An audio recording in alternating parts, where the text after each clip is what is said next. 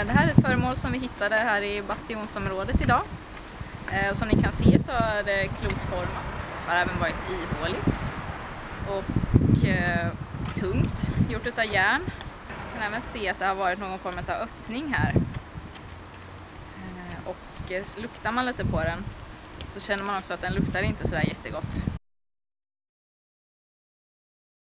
Det här är då en handgranat som eh, blev eh, lite vanligare på slagfälten under 1600-talet och man tillverkade dem av gjutjärn som man sedan fyllde med svartkrut. krut.